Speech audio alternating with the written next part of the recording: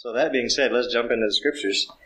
And uh, speaking of what God does through parables, are really a, I think, for anyone with ears to hear, as Jesus said.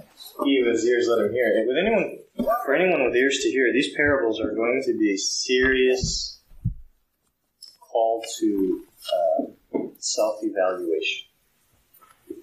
That's that's a regular part of a disciple's life, the self-evaluation, because every time Jesus speaks, that's the mirror that I get to look at, and I and I look at the mirror of His words, and I say, so how am I looking? You know, uh, here's here's Jesus and who He is and what He's thinking, and here's me. So how do I become more like Him? So we're going to be in Matthew 13, 44 to 46 for the, the two parables for the evening. But before we jump in, I want to make sure we remember the momentum of the last several weeks. I changed your number on the top of your page to session three because I didn't change it on the computer. Sorry. So we're going to review what we've looked at the last several weeks. Uh, to begin with, what does parable actually mean? Comparison. Yeah, it's a comparison. Very literally, it means to to throw beside, to throw next to. And so you, that's why it's a comparison. It's two things put next to each other to see how they're like or similar. So that's what the parables are. And remember, parables aren't just stories. Those are the ones that we remember probably most. But parables are all kinds of metaphors, figurative language of all kinds. In English, we call it metaphor simile. In that language, parable covered all of it. A parable covers a riddle. Mysterious words that you have to just think about and figure out what, what is he talking about. By the way, that was the effect of most of Jesus' parables on his disciples. Not just the crowds, on the disciples. That was their job, was to decode his mysterious words, and they, they just couldn't do it all the time. In fact, we saw with two of the parables so far, the sower and the weeds, Jesus had to explain the parable because they couldn't get it. They tried their darndest, they couldn't get it. Hey, speaking of those parables, in the parable of the sower, uh, Jesus talked about the path, the rocky soil, the thorny soil, and the good soil. Just share, share with us, if you remember, what does the path represent? What kind of person is this? Satan. Well, the birds that came swooped up, yes. So Satan swooping up and eating the seed of the word. So, what kind of person is this? What's going on with this person? They've heard the word of the kingdom, but what? Ignore Right? It Goes nowhere. Because the enemy has played a role, and human rebellion is the other part of that, of course, but the word doesn't even have a shot. It doesn't have a chance. Nothing happens. They reject it. the second soil is rocky. Um, and in the parable, this is the one where the seed actually does grow to life, but the rocks prevent it from getting deep roots. So when the sun shines on it, the heat scorches it and it dies. So what is Jesus talking about? What does that represent? Or what kind of person? Person who hears the word and maybe gets excited for a minute and then walks away and gets. Good. So they, they believe it. They receive this message of the kingdom.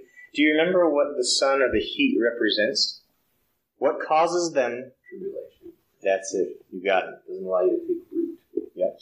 So their acceptance of the kingdom message is limited to their own welfare. As soon as receiving this message is, is a threat to their welfare, they're out. And so that, here's the problem, and we see this a lot. If the kingdom message is received and I think it's about me, I'm already in trouble. because as soon as the me is threatened, never mind. See, when you receive the kingdom, remember who's the kingdom message really about? It's about the king. So, if it's going to hurt me, but it pleases the king, let's go. Bring it on. But see, if the kingdom message is received about how it will help me, and that's the main thing, as soon as I don't think it's going to help me anymore, I'm out. Now, how about the uh, thorny soil?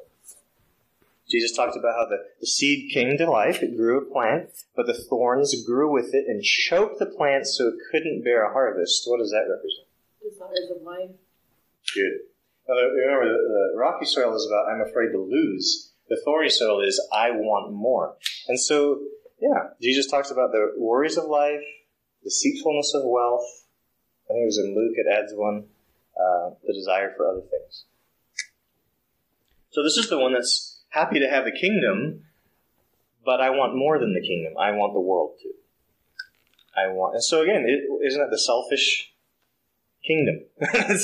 as long as the kingdom helps me get more, I want it. As soon as the kingdom means I'm losing out on what I want, forget it. I'm out of here. Keep that one in mind for tonight. That one's going to come back on us like a boomerang. Now, the good soil represents what? Follower, believer. Yep. Someone who actually is willing to produce the fruit of the kingdom, which is obedience to God's word. No matter what comes. So, the enemy can't take the word from them because they believe it. They, they will suffer for it and still obey God, even so. They're going to lose out on worldly things, meaning they won't get as much from the world as they might otherwise, and they're cool with that because it's about the king, not about them. All right, number three. I just won't keep talking about that because it's so good, but we're Okay, number three. Give the meaning of each of the following details in the parable of the weeds. So just to review, remember, in the parable of the weeds, there's a man who owns this field, and he sows good seed in it, the wheat. Under cover of darkness, when everyone's sleeping, his enemy comes and sows weeds into the field, the darnel or the tares. Uh, it's undetected until all of this stuff grows up together and reaches a certain maturity, and then the servants are like, "Hey, master, you sowed good seed. What's with all the bad seed?" Oh, an enemy did this, and what did the servants offer to do? Pull the weeds. He wants to go pull out the weeds. Master said, "No." Why? Pull the good ones out too. When you pull out the weeds, you're going to pull out some of my good grain. I don't want to lose any of that. So wait till the harvest is ready. Wait till everything's fully mature. Then I'll have my harvester separated. So let's talk about what these things mean. What was the man sowing good seed representing? Son of man. The Son of Man. Good. You got the exact phrase he used. That's right. Son of Man. We talked about why, why he talked about himself as the Son of Man. What does the field represent? The world. the whole world, right? Not the church, which is a common interpretation of that parable. It's not just talking about the church having good people and bad people in it. It's the whole world. And there will be evil in the world still. The good seed represents The children of the kingdom. good, which would be the good soil from the previous one, right? Who are the weeds then? Satan's kids. Children of the evil. Remember, when we say children, what we mean is those who are like him. And the children of the kingdom are those who are like the king. Who's the enemy? The devil. Yep. Well, I'll tell you what, for a lot of Christians who don't take the enemy seriously, it's strange because Jesus really talked about him a lot and mm-hmm. really took him very seriously.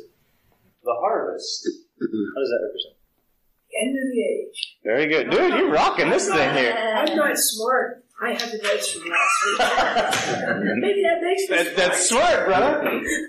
Remember, the end of the age is when Jesus will return, and he will send out the harvesters. And who did he say they represent? The angels. The angels. The angels, he said, will weed out of his kingdom everything, or everyone who does evil and all the sources of evil. And then the children of the kingdom will shine like the sun in the kingdom of their Father. I love that so much. Okay. Number four, this is from last time. We're adding that this last time mustard seed and yeast into this one. Remember that when Jesus told these parables, his primary goal was to correct some understanding of the kingdom that the Jews had that was not right. They were expecting the wrong thing to come. Because remember, Jesus said the kingdom's here. And so he knew all these Jews are expecting certain things to happen now. And he's like, no, no, no, let me explain. So when he told the parable of the sower, what was he correcting them about? What were they expecting and what was he saying was actually the case? Do you remember? they expected cat- cataclysmic change to occur when the Messiah came. He told them his, his coming would be small and then it would grow. All right, good. Actually, you're, you're ahead of us. That's the last one. Seed, mustard seed and yeast. But keep that in mind. We're going to get to, that one. How about the parable of the sower, though? with the different soils and which one produces harvest. Like, but remember, they were thinking that to please God or to give God what He wants, the harvest, is to obey the laws. And now that the kingdom's here, God is going to honor those who have kept Moses' laws the best. And there's only like 700 of them. Yeah, 600 plus, yeah. No, but remember, they didn't just stick to that, but he went to the elders' traditions and the oral law and all that. So, this was a huge shift that Jesus was bringing. In this parable, remember what the seed was. It wasn't the law. What did he say the seed was? The message of the kingdom. Remember, what he was doing was changing the rules.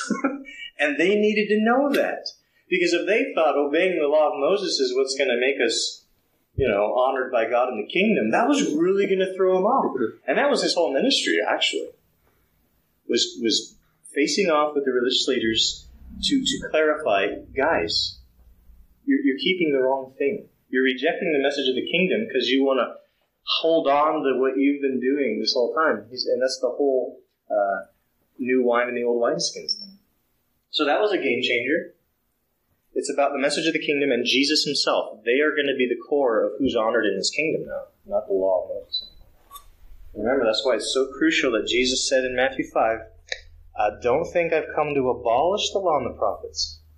I didn't come to abolish them, I came to fulfill them. That's why he can now be the center of it rather than the law, because he took care of that. He fulfilled it, completed it, so now he can be the center rather than the law being the center. Anyways, the parable of the weeds is actually similar to what um, the other one, the, the next one is. But remember, the Jews were expecting when Messiah comes, the enemies of God are going to be dealt with swiftly and finally. Just like we expect Jesus to do when he comes back. We are expecting at the return of Messiah what they were expecting at the first coming of Messiah. All the enemies of God are going to be done, evil's gone. It's God and His law and His people now. That's right.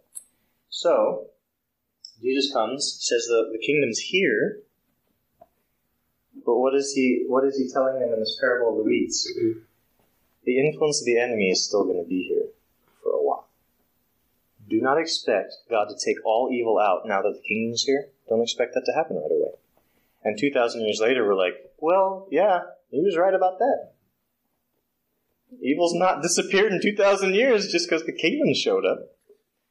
So, what Jesus was encouraging them to do is be patient. It will happen, but not as soon, because what the servants in the story represent are the expectations of the Jews. Can we weed it out now? Now that the kingdom's here? Can we weed out evil? And Jesus is the master in the story saying, no, no, no. We gotta wait. We gotta wait. It'll happen, but just not yet. That would be important for the Jews of that time. So they wouldn't give up on the kingdom message and assume Jesus was wrong just because evil hadn't disappeared yet. Now, finally, the parable of the mustard seed and yeast. Tell us again, Sam. What'd you say? Um, no, they expected a cataclysmic, cataclysmic change to occur when the Messiah came. He told them his coming would be small and then it would grow when he fulfilled all the prophecies. yeah, so the kingdom movement and growth would be far more gradual than they were expecting. That's why he talks about a mustard seed and yeast. Like this tiny little thing, this little this this poor Jewish carpenter man and his small band of followers. This is going to be the beginning of God's huge worldwide thing. And Jesus, in his parables, basically saying, "Yep, go figure." but oh, how big it got, right? Like the, the mustard seed picture is pretty spot on. Look at the way the church. Look how large the the message has become in the modern world since it started. Awesome. Anyway, that's the review. And I want the reason it's important to review that is as we look at these next two parables, we got to keep this in mind. All of this is, is tied together. Okay, so let's read the parables, and at the time we've got left, we're going to jump in and see what is Jesus talking about. All right, would somebody read Matthew 13, 44 to 46? The kingdom of heaven is like a treasure that a man discovered hidden in the field. In his excitement, he hid it again and sold everything he owned to get enough money to buy the field. Again, the kingdom of heaven is like a merchant on the lookout for choice pearls. When he discovered a pearl of great value, he sold everything he owned and bought it. Okay. So I'm just going to take a couple minutes, and what I want to do is just look at this as if it's a real story, and as if it really happened, especially the first one, just so that we can kind of hear it a little more like the original hearers would have heard it. Because what Jesus describes in the first parable about the hidden treasure is actually stuff that happened in their world. Now, we live in a world of banks. Now, when we don't want to put something in the bank, what do we say? We stuff it under the mattress. Like, we have our own version of this. In the ancient world, you don't stuff stuff under your mattress, you bury it in a field. Your property. You bury it somewhere. Now, especially in Israel, poor, I mean, poor Israel, they were overcome so many times by different enemies, different invaders and stuff. It be, and that wasn't just Israel, but it was kind of an ancient practice. Even the Romans did this. If you want to keep something secure, you bury it out there somewhere. Of course, keep track of where it was. It reminds you of the pirates, doesn't it? you got to make a map for yourself that reminds you where did they put that thing. And so that that's was a common practice back then.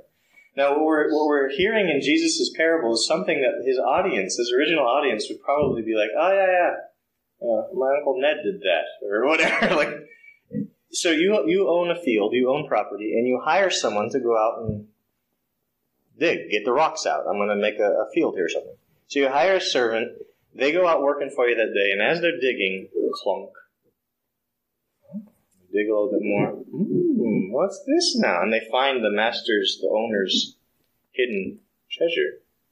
Now notice what Jesus says he does about it. He covers it back up. What a sneak. And by the way, the, the entire Jewish audience listening to Jesus knows this whole scenario is like dirty business. Okay? this whole thing is like rotten. So he's working in someone else's field, finds this treasure while he's working, probably. He's like, oh, oh, no one else saw it. Covers it back up. And then what does he do? Does he go tell the master, hey, just want to remind you, you got a treasure out there. What does he do? A. He sells. Now, this is the key point here. How does he get the? He's a servant, right? How does he sell, or how does he get enough money to buy this field? Sells everything. Everything he owns, home. I don't know if he's got animals. Probably he's got a few animals. Like everything. He's got nothing now except the money in his hands. But when he buys that field, what does he have? Boom! He's got this treasure that's so much more valuable than anything he had before. Because if he had a lot of wealth, he would not have been working in that field for that guy. Right? So what a story. What a rags to riches story Jesus just told. Again, if you if you can't get back past the fact he's being a real cheat, like this is kind of underhanded what he does. That's not Jesus' real point. What is what is he comparing? We're going to talk about that. Now the second one doesn't quite have the same underhanded feel to it. It's just a merchant. We totally get this as Americans. We're totally business aware as Americans. So there's a guy, his job is to sell stuff. And he works in parable, or pearls. By the way, pearls back then were so amazingly valuable. They're still valuable today. But see, they don't, they didn't have the methods we have of producing pearls, right? Have you seen these things? They're weird. Online, uh, you can actually watch someone live on Facebook or whatever who's just got a bunch of oysters on their table and you can watch them open up the oysters and you can basically claim that oyster. So if they open it and get a pearl, it's yours. It's weird, like this whole new phenomenon thing. Well, back then, obviously, that's not an option. And there's three main bodies of water that they would have to go at huge cost and huge you know, labor. They'd have to go find all these things and get these oysters. So it's amazingly uh, valuable.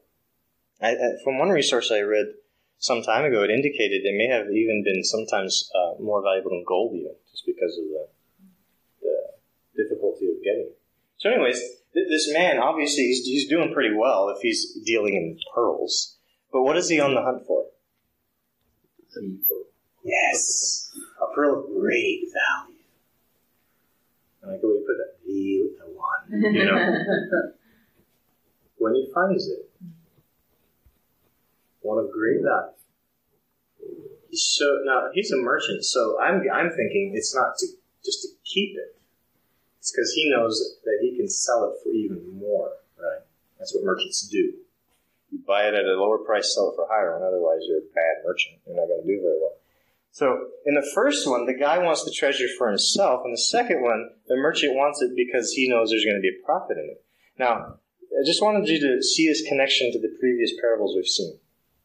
In the two farming parables, what is the farmer looking for when he sows the seed? What is he hoping to get out of it? A crop. More than he put in, right? We call it a profit. He wants to get out of it more than he put in.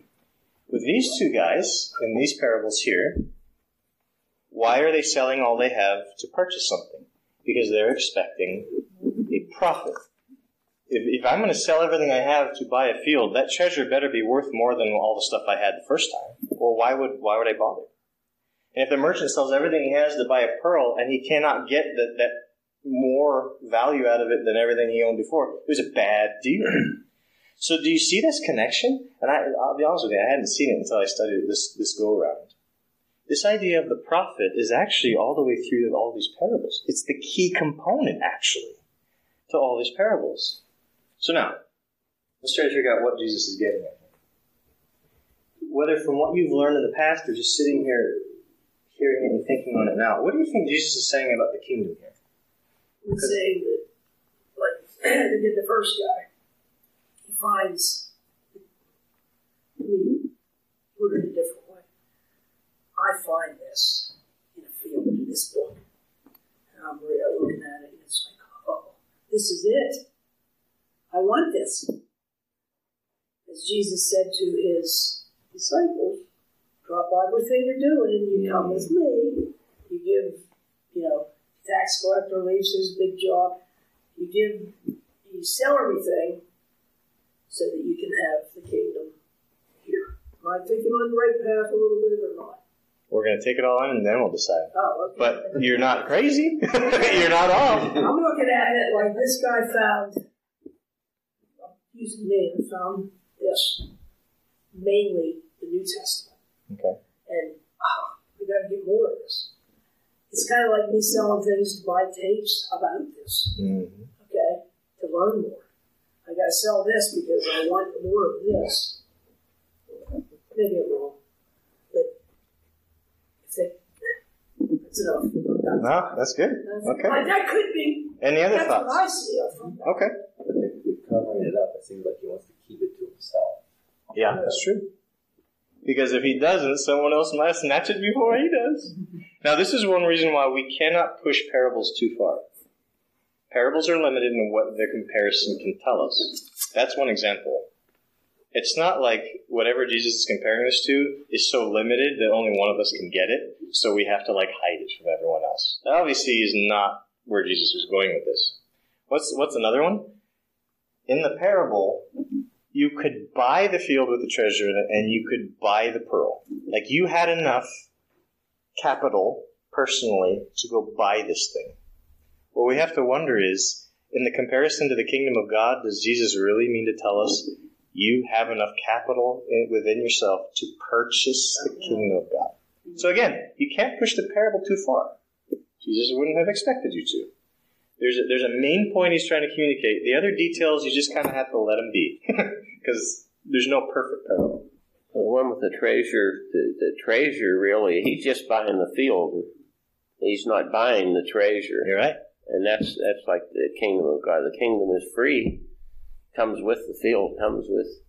I think that's one of the. It's included, you're saying. Yeah. How much are you willing to give? He will- He's willing to give up everything to Yes. get something.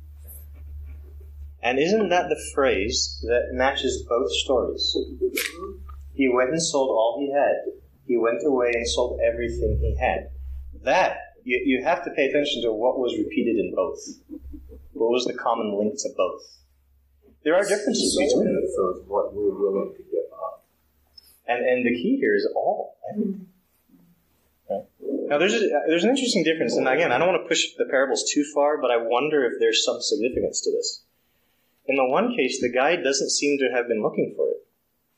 We don't know totally; he doesn't give all the details. But it's it, the way he describes it. It's almost like he happened upon it.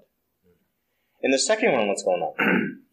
He's purposely looking for this. Now, knowing Jesus' whole experience with the Jewish nation, knowing how Jesus interacted with everybody.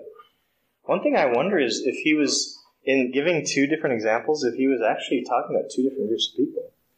Because there were some sinners who had no interest in the law of God, no interest in obeying God, that when Jesus and John the Baptist came announcing the kingdom's arrival, totally caught them by surprise, but they wanted in. Hmm. In fact, Jesus said they were getting in ahead of the righteous people because they were listening. But then there was this group of people, and I think of Nicodemus who visited Jesus at, Jesus at night, and there were others who were religious leaders. In fact, there was one uh, one religious leader who came to Jesus and said, "I'll go with you wherever you go." So there were righteous people who heard the message, saw the miracles, and they're like, I'm in. I want this. But see, some of them were looking for the kingdom to come. Others couldn't care less because they were living it up in this world. The end of the age just meant bad stuff for them. This present age is where they were wanting to live. But see, there's just two groups of people. One isn't looking for it. One group is looking for it. But the point is, if they both find it, are they willing to give up everything they have to acquire it. Now, here's another interesting thing about these stories. The, the obvi- obviously, the part of the story that isn't the focus is the fact that they found it. That's not the main thing. The main thing is what? What they do with it. They wanted to acquire it. Now, you have to think this through because for, for a lot of people, when it comes to the gospel of Jesus Christ, the gospel of the kingdom that we know, sometimes people feel totally satisfied because they found it. They heard it and they like it. Let's go back to the parable of the, the soils. I like what I'm hearing. This makes me feel good. God loves me. God wants to forgive me. God wants to be my father. You know, all the good stuff, which I'm totally on board with that. They, they, they're happy they found it. But if Jesus ended the two stories there, so a guy found a treasure in a field. There's this other guy looking for pearls. He found a really good one. So, who cares? The punchline of the story is not, look, they found it. The punchline is, they were so excited about it, they sold everything they had to acquire it. Now, you, you put that into the mix of Jesus' whole kingdom message and the parable of the, the soils, and you find out there's something really important here. The important thing isn't that you know the message. The important thing isn't that you like the message. Mm-hmm. The important thing is, will I follow that message where it's leading me? And that is a big part of this parable. Because the challenge, and this is why I said, I think anyone listening is going to be challenged to look at themselves carefully. The challenge here, especially for good church attending Christian folk like us, is to actually stare honestly at ourselves long enough to figure this out. Have I actually been desperate for the kingdom to the point that I've surrendered everything I have to to have it? Now, here's one reason why this gets a little bit complicated for us.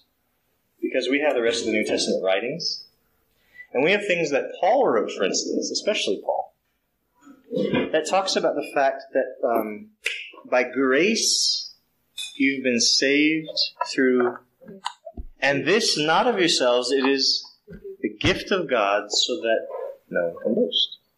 We are very, very clear on the fact that salvation or eternal life, I prefer that, because salvation is so vague to people. What's that even mean? So eternal life is a gift of God, right? You cannot buy it. You can't earn it with your good deeds or your cash money, your church attendance. You cannot purchase this. You cannot make God owe you this thing. So then we have a really hard time coming up against so many of Jesus' actual explicit teachings about the kingdom, where he indicates stuff like this. So the gospel is a gift, but it's going to cost you everything.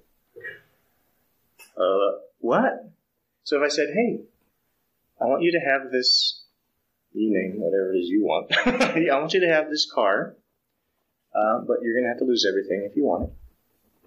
It's not a gift. Like, that costs me too much to be a gift.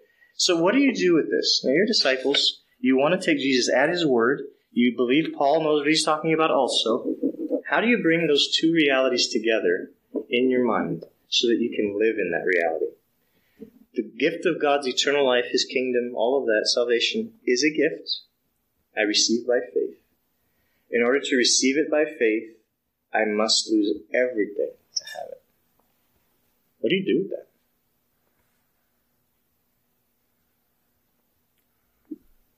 Or is the Bible confused? Did Paul and Jesus not see eye to eye on this? Like, what do you, you know what I mean? You know, I, I think, I think people understand that. They just don't know they understand it. For, and where I'm going with this, you see all these Facebook posts of uh, this really nice country cabin. We'll get, you'll get one million dollars if you live here six miles or six months with no cell phone. Can you do it? And everyone's like, yeah, yeah, yeah, yeah. And it's like, so they there it is. You know that if there's something good that you're willing to sacrifice for it. Uh, but the difference is that's in our minds that's tangible. We can see it, touch it, smell it. In the kingdom we can't simply because we're not walking in it to be able to see it. Not to mention, it's only six months versus it's just flat out Yeah. give it up. But the difference is too that million dollars, how long does it last? What you give up forever is going to be multiplied 60, 30, 100 times. Mm-hmm. But we, we just can't seem to grasp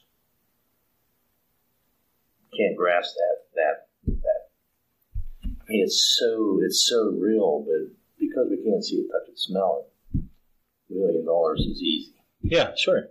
And I know what I could do with a million dollars. You know, I could make a list for you right now what I do with a million dollars. Yeah, because that's the other aspect of it is eternal life. People think less in terms of eternal life and more in terms of heaven, and now they're trying to picture what heaven is and what it means, and everyone's got their own idea of what it's all about. So it, what it does, I think, heaven per se, in people's minds, just becomes another fantasy place. Sure. Like, Clouds uh, and angels and harps. yeah. So, like Never Neverland, whatever. Mhm. Yeah. So I think that's why we're unable to do it.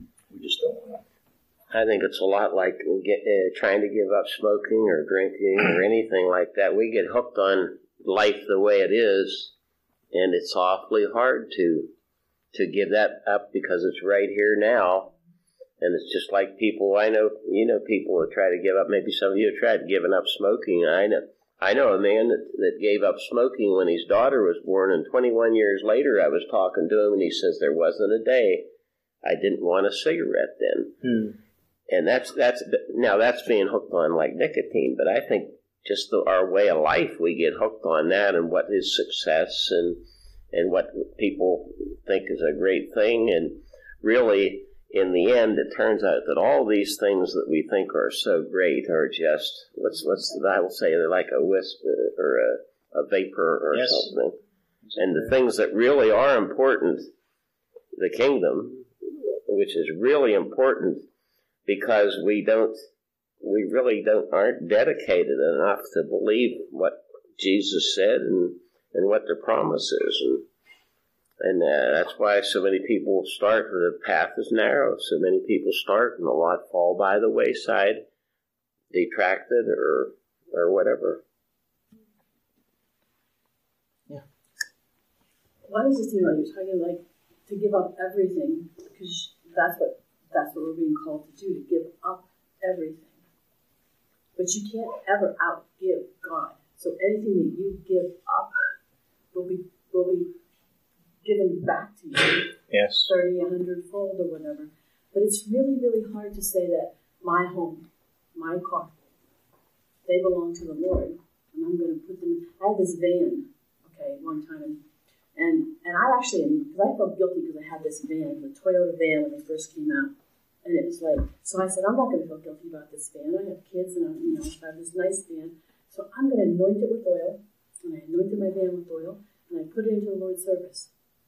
Well, I had told that story, uh, putting, and I didn't take, I took kids to uh, uh, youth group things like Far Away and things like that, and some things like that, and it's like, all of a sudden, this one woman came up and she asked me, she said, Well, can my family, can we borrow your van? Because we all want to go to a Yankee game, Oh. and I want my whole, because all my kids are coming back from college, and, you know, um, did you mean what you said? yes. Now here we Did go. you- I mean what you said. Now the rubber hits the road. So I gave them my van. Mm. I gave them my van, and And my husband's like, "Are you nuts? Yeah, right. What's wrong with you?" And I said, "No." I said, I, "You know, I, I this is I feel like it's a test. Mhm. it's a test. If they crush it, I have insurance, like whatever." So it really did bless that family.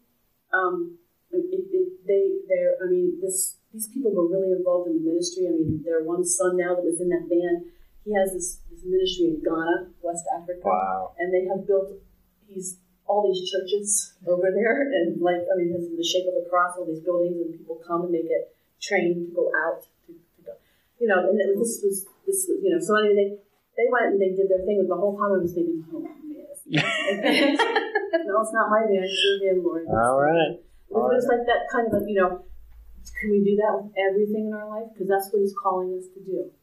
That's what He's calling us to do. Everything. Everything. You know? It starts with tithing. I mean, come on. How hard is it to give a tenth to the Lord? Mm-hmm. You know? And I'm not just speaking to everybody, I'm just I'm preaching to myself too. Mm-hmm. You know, tithing, it starts there. Give 10% to the Lord. You know? The hard thing about that is, is I could do it if I was the only me. Well, I hear you, brother. My wife, my kids, that's what kills me. Yes. I mean, I could live in a tent and eat dirt. And you, and you know, Jesus knew this about people, especially the men he was talking to. And this is why he says in multiple places and, and ways, if you love your father, mother, husband, wife, children more than me, you can't follow me. He wasn't saying, because I think they're icky and I don't want them along. What he's saying is, if you're ever going to choose them over me, this is not going to work. Because of that very thing. He knows, like, I'm the same way. I could live on pork and beans in a tent and be like, praise the Lord, let's serve him. But, but do I want to live with the idea that I'm dragging my kids and wife through this whole thing with me? And, and I gotta say, that's one of the most difficult parts of not just American, but, but the affluent American West where we value family so highly. One of the stumbling blocks to true, full discipleship to Jesus is this devotion to family that in a lot of ways keeps holds us back. And I don't mean that you should neglect your family. Paul would say you're worse than an unbeliever if you don't care for your immediate family. But our our understanding of what's taking care of our family is different. I mean, in the culture, is different than the kingdom understanding of taking care of the family. To where if I were to say to my kids, this is just an example. Please don't hold me to this. Uh, if I were to say to my kids one one Christmas, you know, uh, kids, we don't have a lot to start with, but I really feel strongly the Lord wants us to uh, to send the money I would have spent on your gifts to to take care of some kids in Indonesia. I don't know, one because they they don't not just have no gifts; they don't have food and medicine. I think we should bless them. I don't want to have to say that to my kids, but if the Lord Jesus told me to do that, now I have this discipleship crisis and his words leap off the page, and they're not just an academic verse I should remember. It's, it's this reality I'm about to live in. Am I going to, at the fork in the road, value Jesus and the kingdom over that moment that my kids are going to be horribly deflated and disappointed? Now, this is like real to me. I'm, I feel this. And these parables are like, you know, in, in my face because if I do what I want to do in the flesh, most people, Christian people, would not think a thing of it. Most people wouldn't come and say, Now, Ryan, you know what Jesus said? Because I'm not breaking the big Ten Commandments, I'm not being bad to anyone. And so, most Christians, because so many of us struggle with the same thing, we don't call each other on this stuff. So if I if I ignore what the Lord's saying and just carry on as I want to, I'll get out of it pretty unscathed you know, in the in the physical. People aren't going to say, "No, Ryan, I'll, I'll get through it." The Lord will will challenge my conscience, but hey, everyone else does this, Lord, so it can't be that. You know what I'm saying? Like this is a tricky thing because of the standards the the wealthy American church has for each other. If you don't listen very carefully to Jesus himself, instead you listen to the church culture, you can miss a lot of this. So, so for instance, um, I know a lot of people who are more wealthy and have more stuff now than before they were Christians. And then by the way, I'm not saying that that's a sign they're not a true disciple. But I come to things like this where you're supposed to be willing to give up everything you have to acquire the kingdom. And I'm like, I don't even know what that means now. Be willing. What does that even mean? Be willing to. Not that he's asking us. I don't think he's asking us to give up everything, but he's asking us to be willing to. So when does that? I that? think he does test us. I he Okay. does too. I mean, the whole band thing was the test for me. Sure. I'm willing to put that on the line, you know? And I think the word everything here isn't specifically material. I think the word everything, when give up everything, is give up everything within myself. Because Jesus is always telling, deny yourself and follow me. You have to pick up your cross, carry your cross every day. Deny yourself, follow me. That's the everything we have to give up. When we give up that everything, everything else will flow. Mm-hmm. And maybe, and, and then if we're we're blessed and have a lot, it's easy to give that up now because we've already given up what we desire for ourselves. That's when being born again, you're new creation. Yes. With the old man behind you, you're I think the more Exactly you, the more you, the more you want to follow Christ, and the more you, the more you just want to pour yourself out because of how He has poured into you, Mm-hmm. and things are not important. What's important is Him and having a kingdom mindset, and that comes with growth. That comes with following Him. That comes with falling more in love with Him every day, and he doesn't expect us to be perfect. I think the groundwork for a lot of this was laid with uh, Abram and Isaac. You know, when we talk about giving up, when we think, I, I know I've talked to a number of people, a number of people that get very upset that God had asked him to kill his son. And the whole time he said, the Lord will provide. And you talk about giving up your dear, your dearest.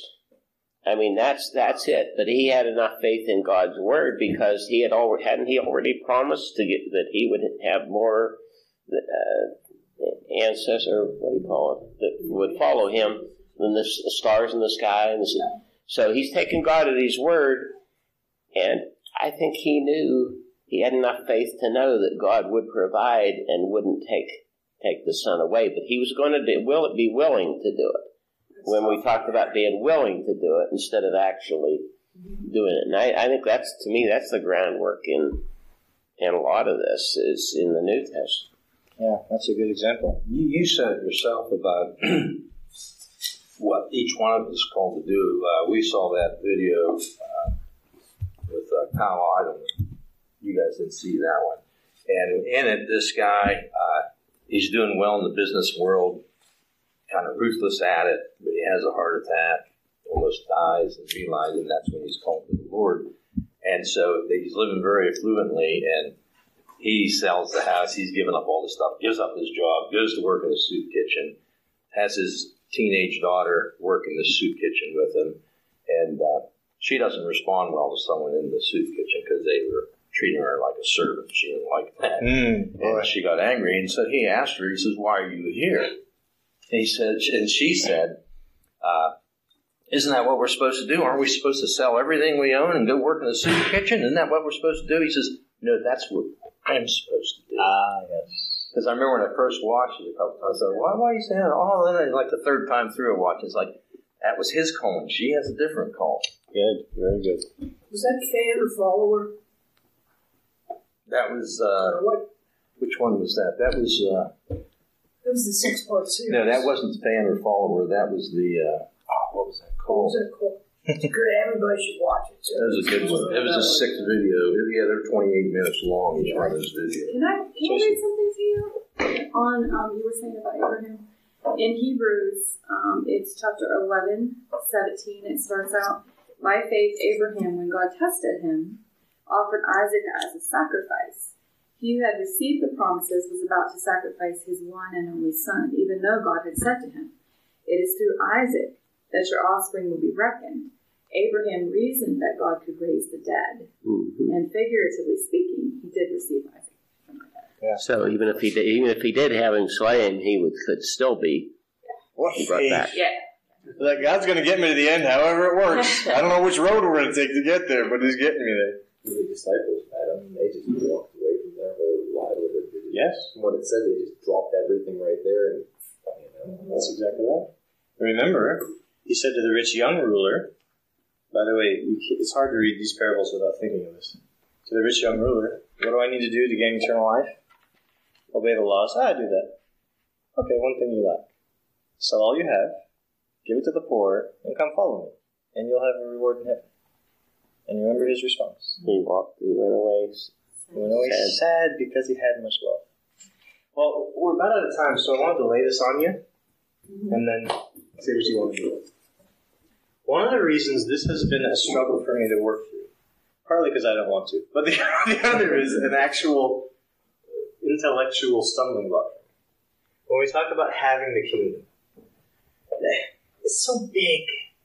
Even mean, Lord? And so, so one of the things I've had to do is work through what are we really talking about when we talk about uh, giving all I have to acquire the kingdom. So uh, here's what I've done in my mind, and you, you, you need to work on this yourself, but just to throw this at you. As I read through the Gospels and understand what Jesus is talking about, if you want to get to the nuts and bolts of what having the kingdom means, it means being a disciple of Jesus. That's, that's if you want to say that's the, the doorway to have the kingdom, right?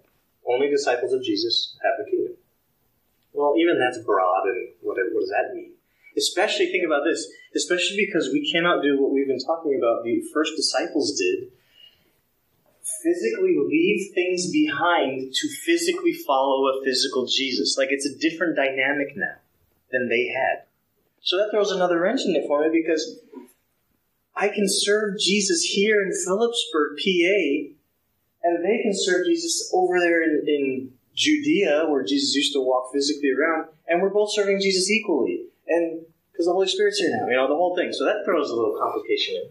So I, I can't just park it here either, because that's pretty vague too. So here's what has really helped me the most clarify things. What does it mean? What does discipleship to Jesus really mean? It means becoming like Jesus. Even that's very vague and broad. So I kicked it down to one more. The mission of Christ. This now, if I if I take the mission of Jesus and I overlay it into what he's teaching me here, here's the question. Am I willing to give all that I have to accomplish the mission of Christ? Now we got some teeth or something to dig our teeth into. So now I start asking questions like this. First of all, what is the mission of Christ? Make disciples, train disciples. And if you threw on a third one, it would be take care of the poor. I think that fits into the training of disciples, but we'll just put that very specifically out there. Now, here's my question Have I, and am I currently, given everything to this mission?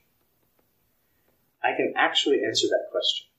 See, this I honestly can't answer it. It's so big and big. Even this one. Mm, This, if I know what his mission is, my question now, I can answer it. Am I right now giving all I have to that mission? And I can say yes or no to that. And this is one reason why I think the hypothetical, would I be willing to, that hypothetical is totally valid and true. But on the other hand, he's already told me to do certain things that I'm either doing or not doing. I want to give you one example that helps clarify it for me, and then I'll stop just because I'll keep talking all night. Um, if you go to First Timothy,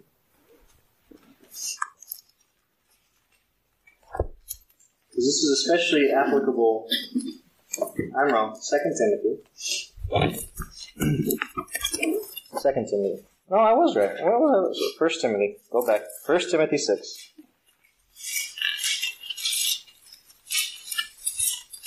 Oh, that was that's wrong. Say six. First Timothy 6, yeah.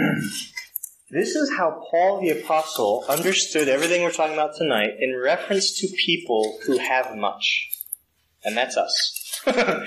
we Americans sitting in this room, we fall into this category of those who love Christ and his kingdom, want to have it, but we have much. And there is an actual command here. It's not hypothetical. And I think your your specific example of van fits into this general command. So, so the hypotheticals come around in this command here. But listen to what Paul said in verse 17 to Timothy. Here's what Timothy was supposed to tell. First Timothy. 1 Timothy 6.17.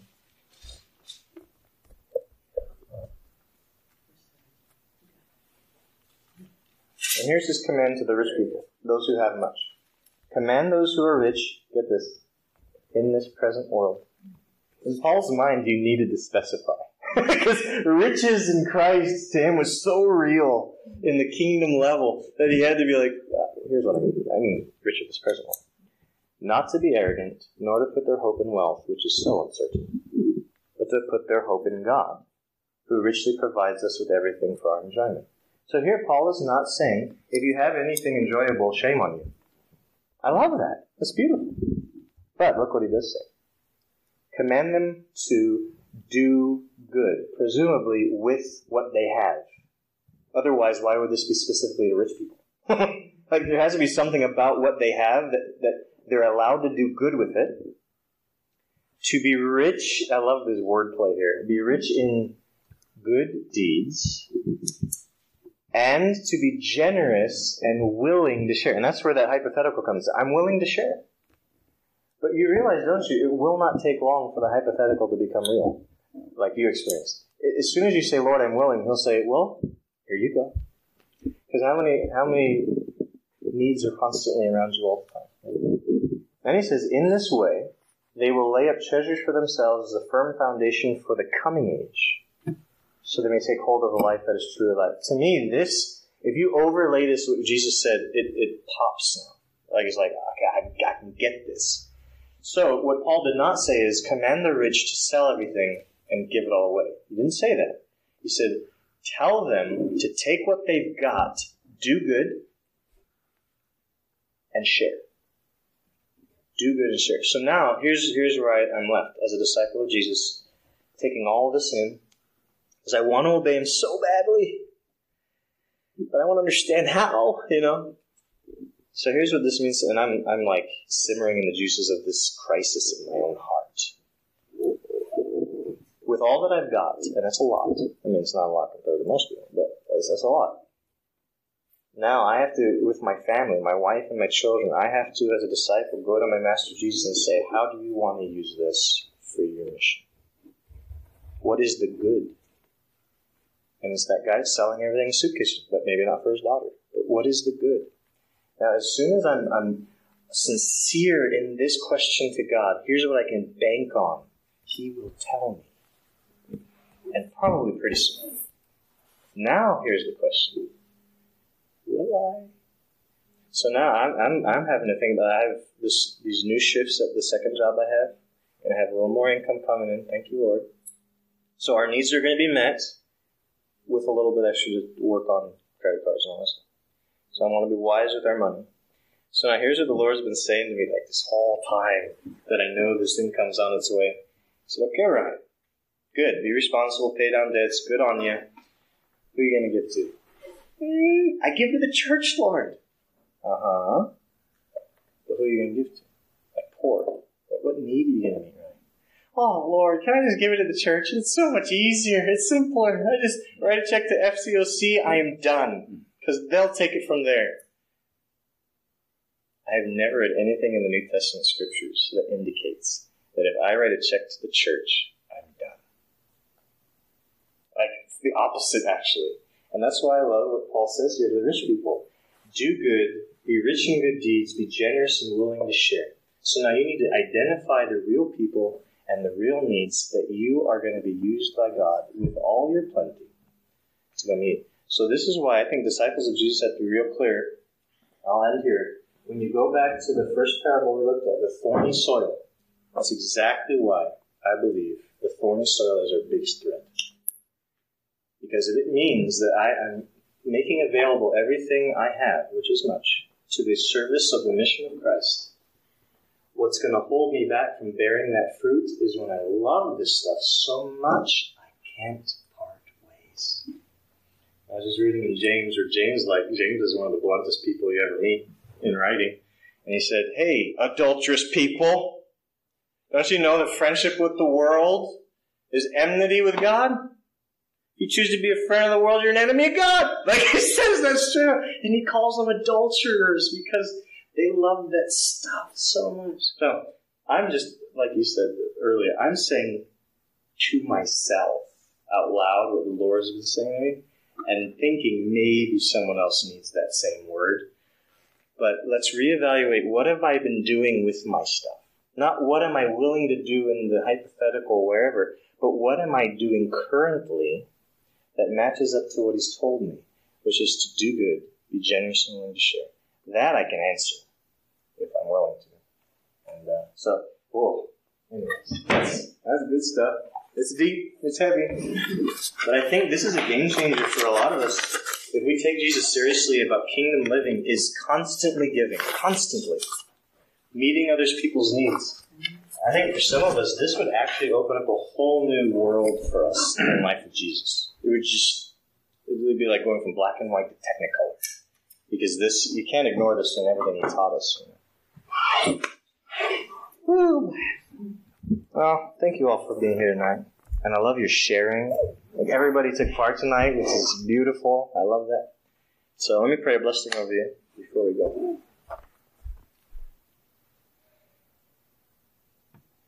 Hmm, Lord, you stirred me up all over again. So I just offer this simple prayer.